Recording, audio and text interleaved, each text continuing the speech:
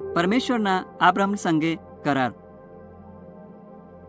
મહાપૂરના ગેર વર્ષ नंतर जगમાં परत लोकवाळणात आणि सर्वासनी एकच भाषा होती परमेश्वरना सांगाप्रमाणे पृथ्वीभरील न टाकता त्या एकत्र जमनात आणि तेसनी एक शहर बांध त्या गैर गर्विष्ट होत ग्यात आणि परमेश्वरनी काय सांग येण्याकडे ध्यान नाही दिलं तेसनी स्वर्ग लगून पोहोचिसन असा एक उच्चा बुरुजनी बांधणी सुरुवात करी परमेश्वरनी सांगा ह्या प्रकारे दुष्टाई करा साठे त्या एकत्र काम करतील.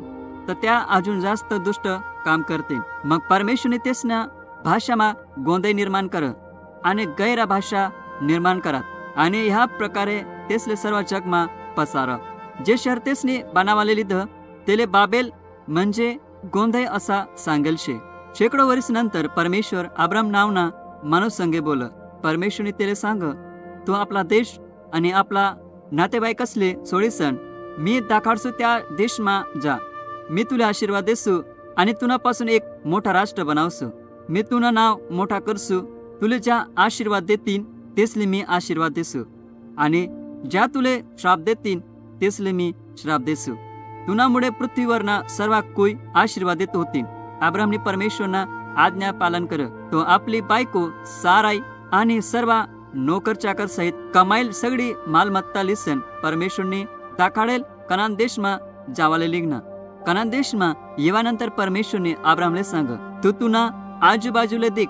हा देश जो तू देखी रायना. मी तुले आणि तुना संतान असले वतन मनीसन देसू. मग आब्राम तटे वस्ती करीसन रायना. एक दिन आब्राम पर परमेश्वरना पुजारी मल्क सिदकले भेटस. मल्क सिदक ने आब्रामले आशीर्वाद दिदा आणि सांग आकाश आणि पृथ्वीना मालक जो परात्पर परमेश्वर से आब्रमले आशीर्वाद देऊ. मग आब्रमनी मलके सदकले आपल्या सर्व गोष्टीसना दावा भाग दिधा. गैर वर्ष चालना घ्यात पण आब्रम आणि सारायले एक बी पुऱ्या नाही होता. परमेश्वरने आब्रामले परत दर्शन दिसन सांग की तेले पुत्र होईन आणि त्यांनी संतती आकाशना तारा सारखी होईल अब्राम नि परमेश्वरना वचनवर विश्वास ठेवा. परमेश्वरवर ठियेल विश्वासमुळे परमेश्वरनी आब्रामले नित्यमान ठरावं.